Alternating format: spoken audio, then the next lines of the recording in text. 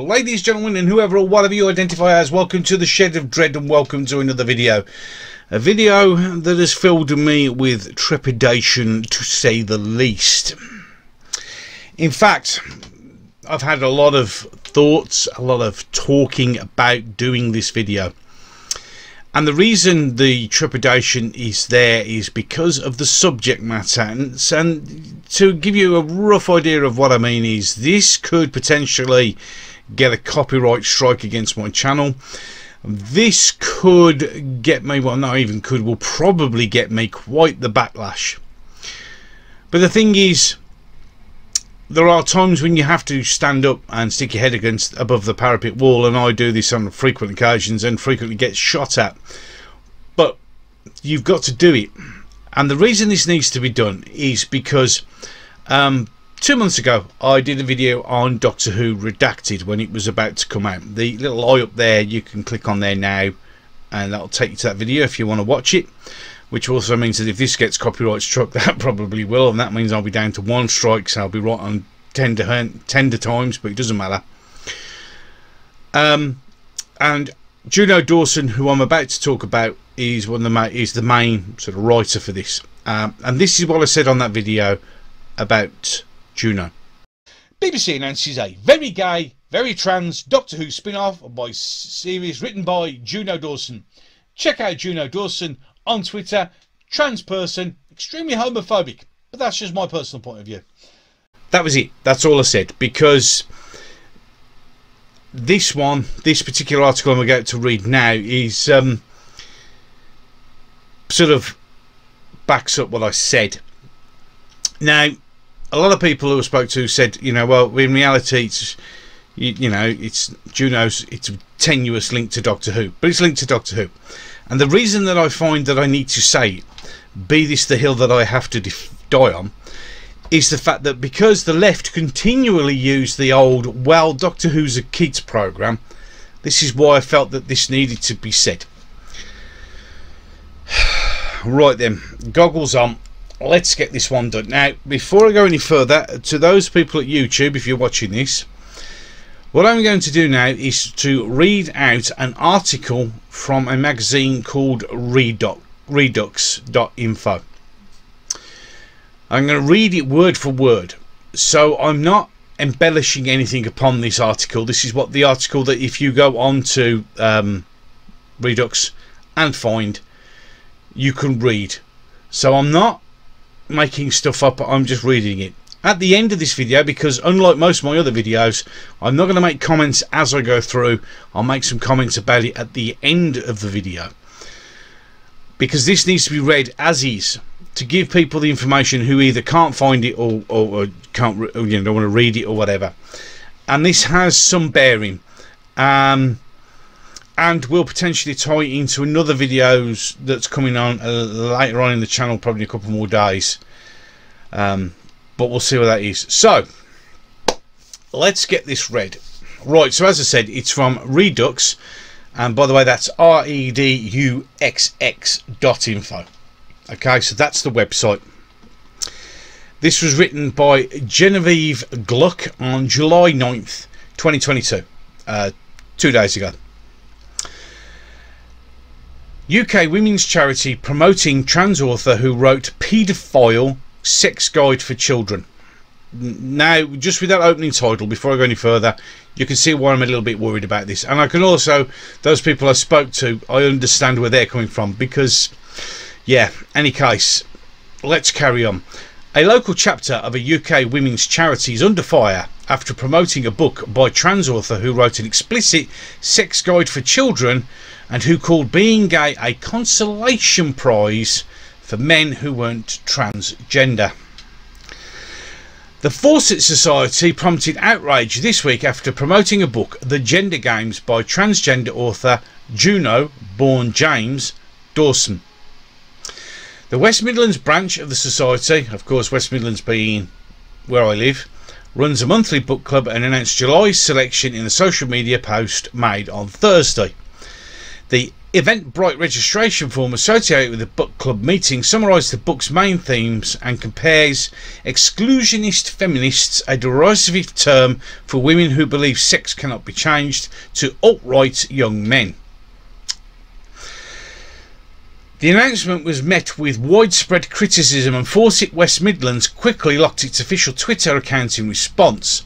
Some feminists pointed out that the purpose of the charity was to advance women's causes, but they'd failed, to find a female author to promote the writing of. There's going to be a little tweet popping up there. Uh, you can read it yourself while I carry on.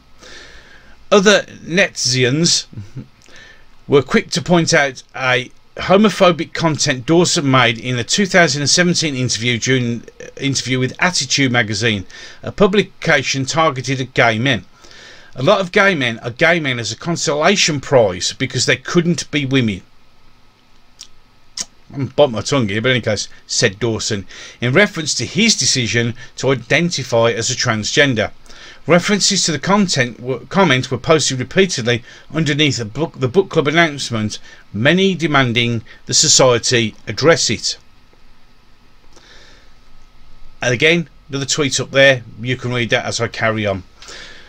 Prior to self identifying as a woman, Dawson had worked as a primary school teacher and identified as a gay man.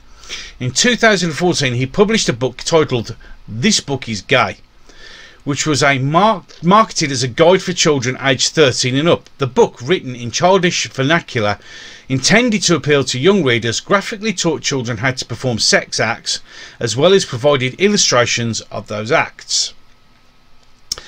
A good handy is all about the wrist action. Rub the head of his uh, penis back and forth with your hand. Try different speeds and pressures until he responds positively, suggests Dawson in the book, who also gives instruction on oral and anal sex, as with handies and breakfast eggs. All men like to have their blowies served in different ways. As reported in the 2015 by The Guardian, the president of Dawson's book in the juvenile non-fiction section of the library in Wasilla, Alaska, led parents to complain. After a 10 year old boy accessed the book, his mother, Vanessa Campbell, was shocked to discover it contained frank drawings and depictions of adult sex acts. Campbell took the matter up with the librarian, a KG Martin Albright, who decided the book was uh, was appropriately shelved in response. Campbell lodged a formal complaint and a three-member committee was convened to look into the matter further.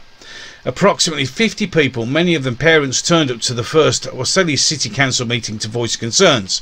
The following week, citizens attended a second meeting in droves, with one attendant comparing the provision of sexually explicit materials to children to be paedophile behaviour. Shortly after the paedophile controversy, Dawson declared a transgender identity and adopted the name Juno.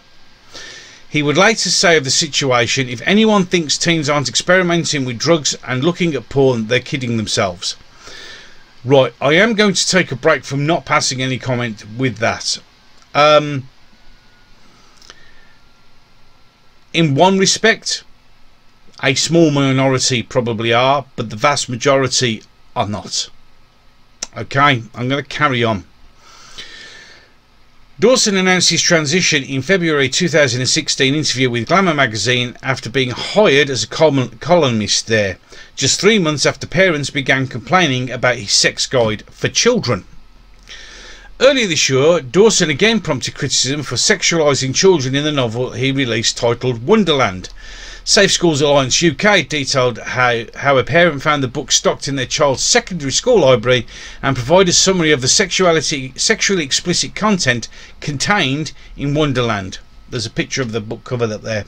Okay which has a its main character as a young boy who identifies as a girl named Alice. Male sex fantasy tropes are present throughout. The book opens book opens inside St Agnes, an all-girls boarding school, where the girls presented are not only sexually active but their bodies are described to be ridden with STIs.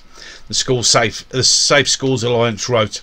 The review continues to explain the ways the children are sexualised in Wonderland. Alice states, The fact I exist is enough. The fact that I'm young is a bonus. I'm a blow up doll. Added to this, Alice boasts about his perky little boobs. While I'm delighted with my perky little boobs, Alice said I was profoundly disappointed that my urge to cut myself didn't vanish with the first milligram of estrogen, uh, sorry, estrogen that passed my lips. Disturbingly, Alice, still illegal, legally still a child, is said to have an active, app-based sex life with married men from outlying commuter towns facilitated by hookup culture. Both Waterstones and Amazon UK have rated this book appropriate for children over 12. In Doris Delson's latest book, chosen by the Midlands chapter of the Fawcett Society Book Club, Dawson describes how he first began to believe he was female because he enjoyed listening to Madonna and Spice Girls. So did I. Dawson generally preferred the media that centred on female characters, including Sex and the City, and confesses to a lingering male privilege, as he was never told I couldn't be exactly what I wanted to be, and I wanted to be Carrie. Despite professing to sympathies with a woman's perspective, Dawson devotes an entire chapter of the gender games to what he refers to as turf wars. Throughout, Dawson refers to the prominent women's rights campaign with unconcealed derision. Whether you prefer turf or transphobe or bigot, I don't really care, writes Dawson. The term turf is frequently used to harass and threaten women who question gender identity ideology. He goes on to compare the acknowledgement of biological sex to racism, specifically using black and Muslim women to make his case. If my critics had said, I don't feel safe around black women or I don't like getting on planes with women in hijabs, he would quite rightly accuse those people of being bigoted, he writes. Perhaps bigotry needs to be silenced. Dawson also shrugged off women's fears of male sexual violence by suggesting that lesbians pose a greater threat to women than men. It's hard to bite my tongue on this one. but I'm going to carry on. I'm not saying anything yet. I don't see anyone suggesting cisgender lesbians should be banned from women's changing rooms and bathrooms. But if anyone was going to have a good old perv, wouldn't it be them? Dawson said. when discussing his own childhood, Dawson defends the use of drugs commonly referred to as puberty blockers.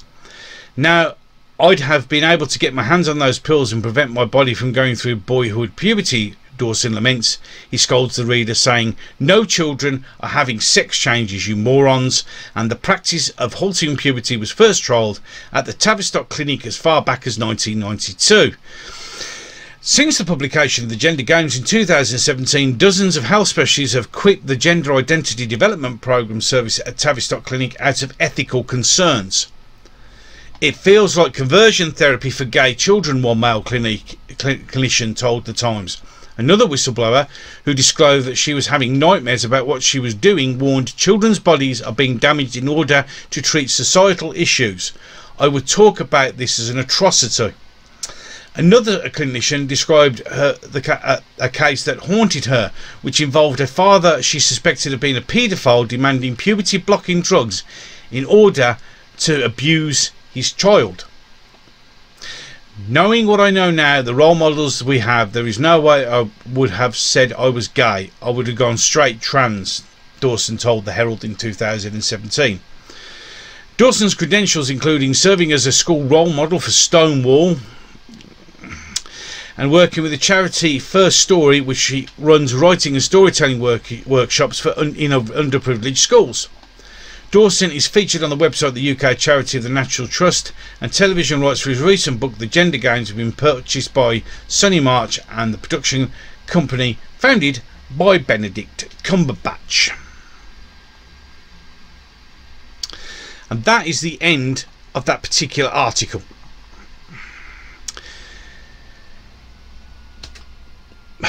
Now, there's a lot in there that I could, should really raise issues with but I'm not going to that much because I know the people will be expecting me. And the truth of the matter is by me just reading those words from somebody else's um, article and for me referring to what other people have said can get me into trouble just that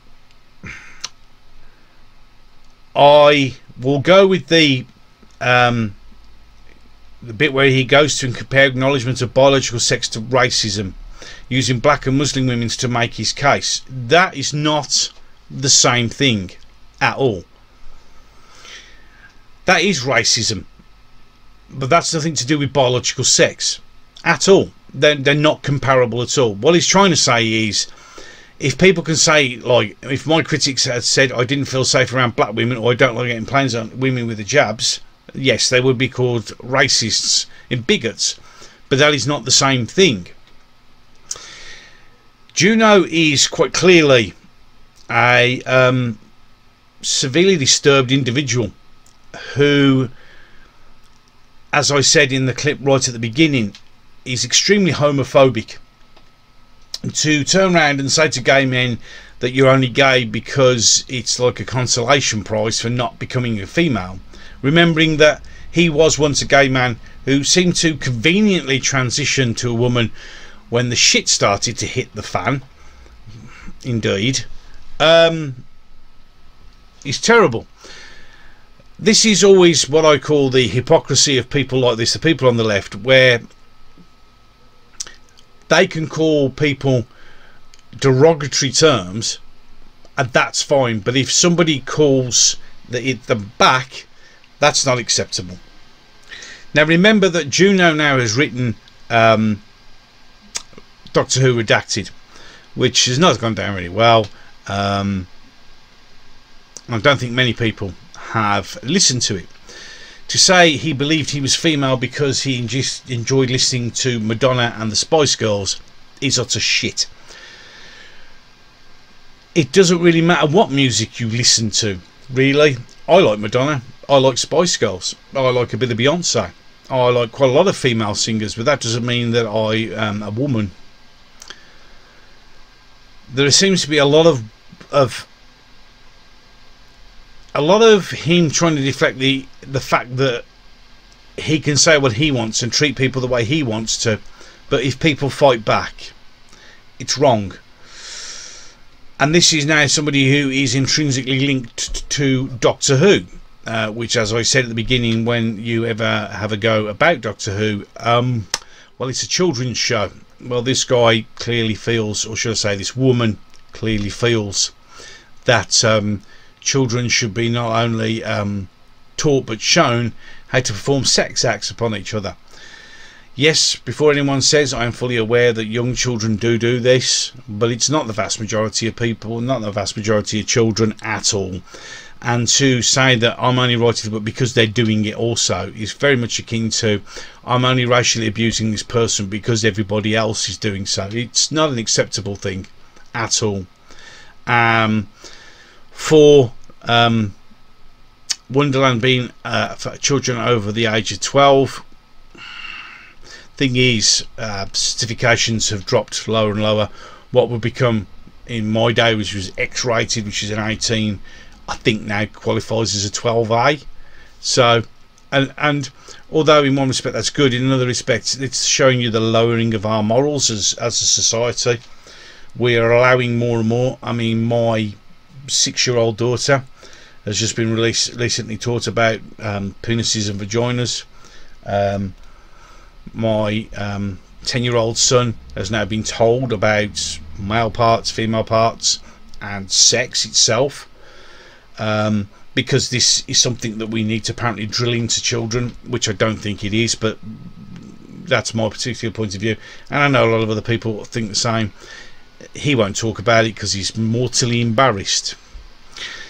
Um, to turn around and you know suggest that men aren't the biggest threat. He says here Dawson shrugged off women's fears of male sexual violence by suggesting that lesbians pose a greater threat to women than men whereas statistically um, it's it, it's men um, and to therefore deride lesbians as going into female changing rooms to pervert other women is very sad because in reality um, it would be the same thing for gay men going to look and ogle at men in male changing rooms that's where the problem is because obviously transgenderism is the fact that you are well biologically the opposite sex. Now, if I walked into a female changing room, I would be in trouble, and I would expect to be in trouble. And that's so you can't he can't you can't use that as as a as a way of getting around this. It's the the reason another reason why this has been done is because the BBC are employing these people either without any knowledge of this or clearly because they don't care.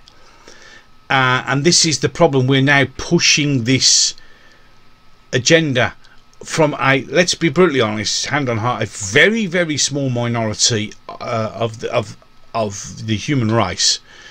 They have somehow been elevated to godhood, and everything is having that added because it's supposed to be about representation. But if it was representation, you still technically would barely see anyone. Yet they seem to be coming in every program known to man. And I'll be covering that little bit actually about Doctor Who in another video. So, I've read the article. That's what it is. As I said, you can go onto reduxx.info and you can read that entire article as I read it for yourself. So it's in the public domain. Um, we'll see how well this goes down on YouTube. Um, we'll see if it gets a copyright struck. Only the only thing that's going in my favour is I am a small YouTube channel, so maybe that will go in favour. So there you go. That's what I think. But hey, what do I know? I'm just a fat guy sitting in his shed. In fact, dying in his shed at 31 degree temperatures here in the UK at the moment, surrounded by his toys. But you let me know what you think. There's a comment section down below. You know the rules as long as it's you know not nasty vile or disgusting it's there for everybody to use if you enjoyed this video just do what Dave the Hand is doing right now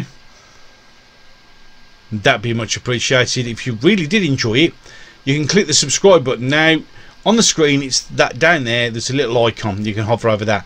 If you're watching this on YouTube it's in the middle. It used to be to that side and now it's in the middle. And they keep moving it.